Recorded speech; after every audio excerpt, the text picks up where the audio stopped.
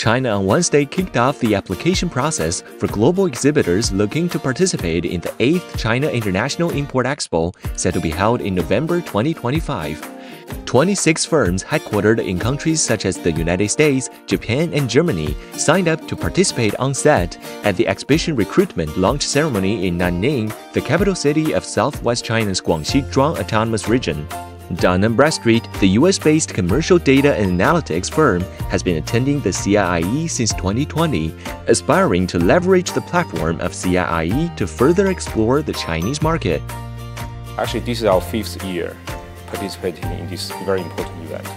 So I think it's very important to we, uh, be part of this event in, uh, uh, you know, because of a few reasons.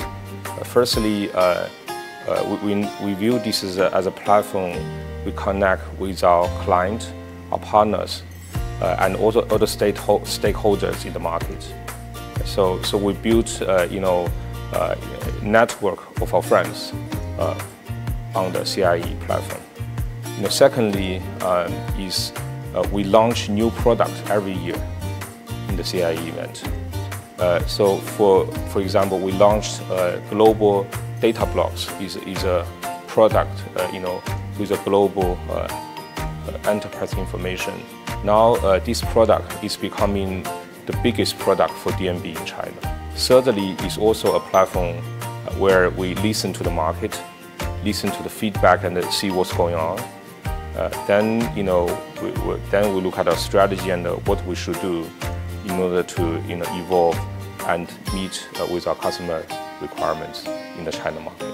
The Standard & has been in China for 40 years. We are a business service currently. We also witness you know how the country has been opening up. Increasingly, uh, we are looking at China as an innovation center, at talent, and, and also the speed of innovation you know, is really amazing in China. So that's why even uh, at Dun & Bradstreet, we're trying to combine our innovation in China with our global, you know, product to serve not only the Chinese market, but also the worldwide market.